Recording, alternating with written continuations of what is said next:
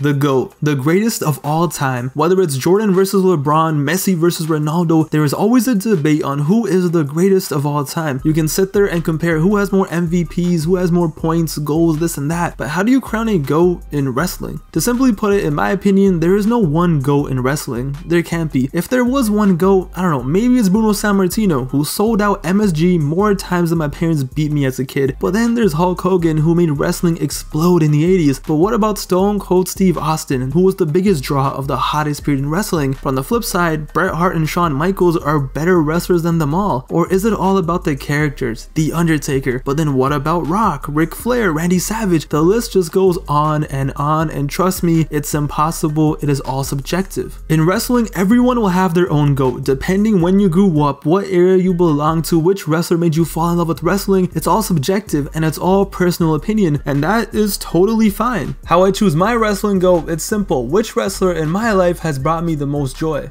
For some, it was Hogan being all cracked out, ripping off his shirt, and for some, it was Austin flipping the bird and stunning Vince. But for some fans like me, it was just John Cena doing his thing. John Cena will forever be my wrestling GOAT. I don't care if Austin sold more merch. I don't care if Hogan packs 300,000 into the Superdome and lifted a 900 pound Andre. For me and a vast majority of us late 90s and early 2000s kids, John Cena is our GOAT. This is the man who made me fall in love with wrestling. Without John Cena, I don't think there ever would have been a WrestlinGifs. Sure, I loved wrestling, but without John Cena, I don't think I ever get as deep into it as I got as a kid. As a kid watching SmackDown, Cena would walk out dropping bars, wearing throwback jerseys, word life brass knuckles, the chain. He was just so cool. This was a time period when 50 Cent was the biggest thing out, and it was so clear that Cena was inspired by G Unit. So we as kids who thought 50 Cent was a god, of course we gravitated towards John Cena. He had that swagger, he had that charisma, he had the look, the iconic you can't see me is all we did at school. What was special about Cena's rise for me was this was the first true rise I saw. Wrestlers like Undertaker, Shawn Michaels, Kurt Angle, they were established. So even though I liked them, I never had that attachment. But here I was a little kid watching John Cena become the US champion, fighting the most random idiots like Rene Dupree and Kenzo Suzuki, but I loved it. Just hearing his old theme and the crowd going wild made me mark out as a kid. Every single week I would watch SmackDown to see what was John gonna do next. From rap battles to wrestling matches, it was always just so fun. I was so into everything he did. I remember he was beating up everyone and then one week Carlito made his debut and won after using Cena's own chain. He legit beat Cena and snatched his chain and I was so angry and I was like, well, at least it can't get any worse. Well then apparently next week Carlito's bodyguard Jesus stabbed John Cena. Yeah, imagine being 6 years old and finding out your hero got stabbed. But it was all good. Even though he had just gotten stabbed, I still believed in him. I knew he was gonna come back with a vengeance, and he did. He came back and he clapped Carlito and Jesus like the biggest savage, and he took back that US championship. Bro, the whole time as a kid, I didn't know his name was Jesus. I couldn't pronounce that as a kid. I was a dumbass. The whole time, I literally thought John Cena was beating up a guy named Jesus. But yeah, that's where the love started, being 6 years old, watching SmackDown on the score, channel 53 in Toronto, and seeing this white boy just do his thing, wearing Blue Jays jerseys, clapping people, rapping, it was perfect.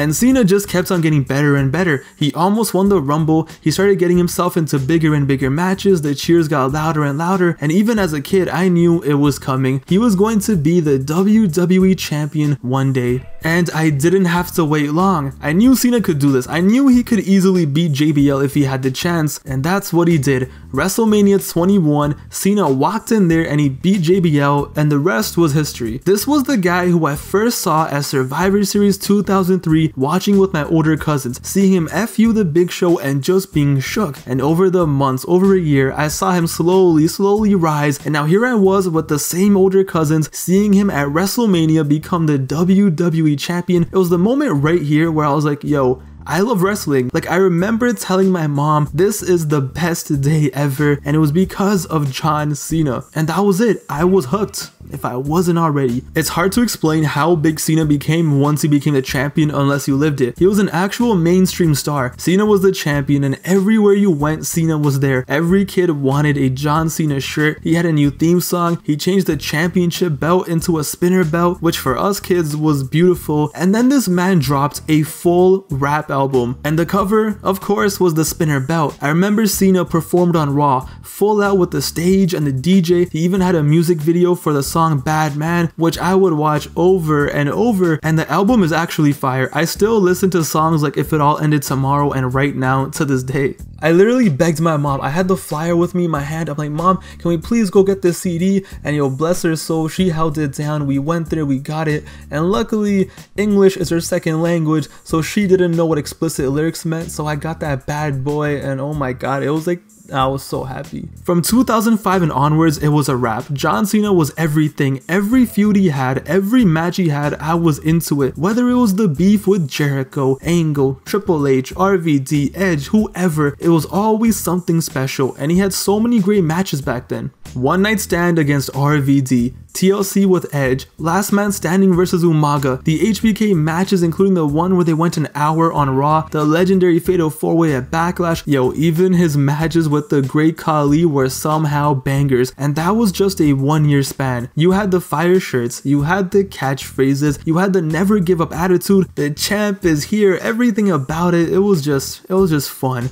Yes, he was Superman, but I was a kid, so of course I loved Superman. I remember finding out how Cena was injured and had to let go of the title, and I was devastated.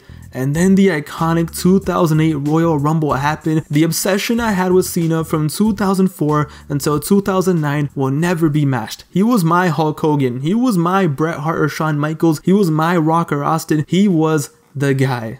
So that alone would explain why John Cena is my GOAT, but there's a little more to the story. In 2010, it all changed. Back in 2010, I joined a bunch of wrestling groups on Facebook and I came across a page that still runs for some reason called Cena Cannot Wrestle. And all I saw was a bunch of countless posts of older wrestling fans just roasting Cena, how he sucks, how he can't do anything, he can't wrestle, his promos are cringe, this and that. And little me just sat there reading it and I was like, well, these guys clearly know more about wrestling than me, and they are older, so they must be right. 12 year old me literally got brainwashed into hating John Cena because of Facebook. And yeah, from that point on, I was the biggest Cena hater for some reason. Whoever reversed, I was cheering for them. I was like the biggest fan of his opponent. I legit began to hate Cena because I wanted to be cool. I wanted to be like the older fans. I wanted to come off as smart. Like, oh, look at me, I know everything about wrestling. And real wrestling fans know that Cena sucks.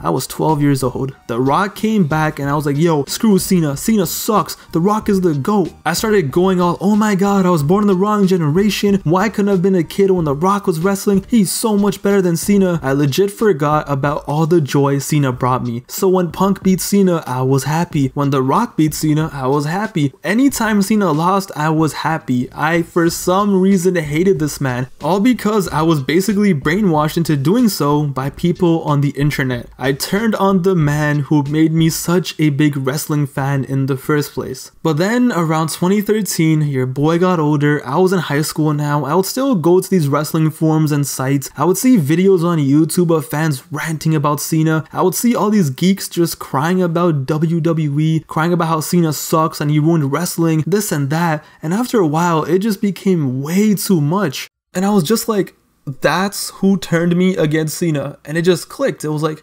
Yo, those guys are fucking losers. I had a moment of clarity, shout out Jay-Z, where I was like, I don't want to be like that. I don't want to be one of those people who are in the Facebook groups and on the forums who can't enjoy anything because they didn't just hate John Cena most of the time, they hated everything. It was just filled with negativity and I was like, yo, I love wrestling, alright? I love this thing. I don't want to spend all my time just being negative about it. I don't want to be like them. I was like, yo, I really spent the past three years being brainwashed into hating this man who made me fall in love with this in the first place place.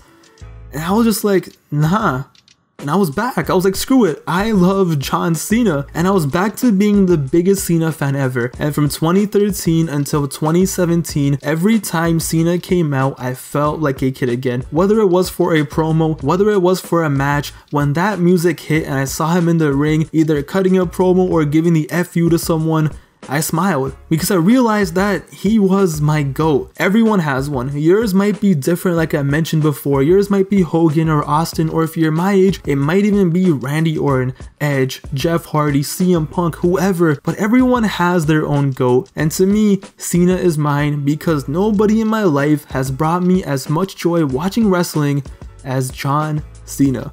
Cena is the definition of a star. He had the charisma, he had the look. When he spoke, we listened. When he wrestled, it was a big deal. When he came out and the music hit, whether it was boos or cheers, the arena erupted. It was unlike anything else. When Cena walked out for a pay-per-view main event or the show closer on Raw, it felt like game 7 of the NBA Finals. It felt like a big fight, a big match, and people cared. They wanted to see him lose or they wanted to see him win. Either way, they were watching. And over the years, he had so many classic matches. Of course, the matches I mentioned before, but Money in the Bank 2011, all of his matches with CM Punk, once in a lifetime, Extreme Rules against Brock Lesnar, his 3000 matches with Orton, even the Batista ones were fire, the legendary Daniel Bryan versus John Cena match from 2013, and how can we ever forget about 2015 John Cena? The triple threat with Rollins and Lesnar is iconic, one of the best triple threats of all time. His matches with Kevin Owens, his Raw match with Cesaro, the entire US Open Challenge. Him and Rusev always held it down.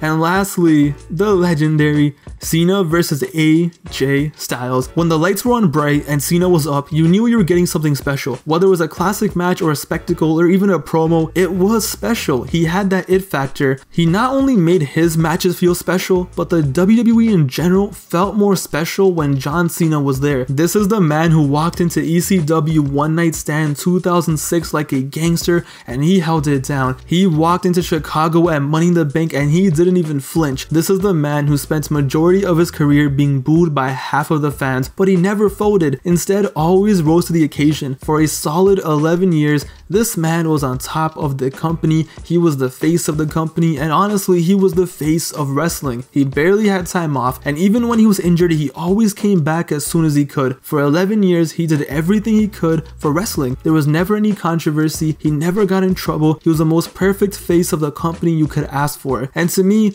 to be the GOAT of anything, it isn't just what you do in your field, okay? You can be a great wrestler, a great ball player, whatever. It's what you do with your fame and with your greatness. It's what you do outside of it that really elevates you. And John Cena is the most perfect example. This man is one of the busiest men in the world, and he still set the record for most Make-A-Wishes granted in history. He goes out of his way to lift the spirits of children who don't have much left. All they want to do is meet him. That is their dying wish. They could wish for anything and they wish to meet John Cena. He's done it for over a decade and it's the most beautiful thing ever and he's done it more than anybody else. The pandemic didn't stop him from granting wishes. This man basically made it his mission. If I could only show one video to show people on why I think Cena is the GOAT, why he's my GOAT, it could be of him rapping against some wrestler, it could be his entrance at One Night Stand, it could be one of his matches or promos, Royal Rumble return, something wrestling related, but all I would really show them is this video of Cena reading letters from his fans. If you've never seen it, the link is in the description, but it's Cena just reading letters from his fans, fans he inspired, fans that didn't have much hope that looked to Cena for inspiration, fans whose lives were changed because of Cena, fans telling him how they were dying and he inspired them, how he gave them hope. When they had nothing, how Cena was the one who inspired them, and you see Cena cry, and you can see how much it means to him that is one of the main reasons why John Cena will forever be my GOAT. Is he the best wrestler of all time? No. Is he the biggest draw of all time? Nah. Does he have the most championships, most 5-star matches, this and that? No, but like I said, there will never be another wrestler who has brought me as much joy as John Cena. And for that reason, he is my GOAT. So my question to you is, who is the wrestler that made you fall in love with wrestling? Who is the wrestler that gave you the most joy? Who is your GOAT? Let me know below in the comments. I expect some Jeff Hardy, some John Cena, some Randy Orton, some Undertakers. I'm super excited. I'm gonna read all the comments. Thank you guys for watching. It truly means a lot. More content coming soon. Like it if you like it. Dislike it if you dislike it. Uh, dislike it. And I'm out of here.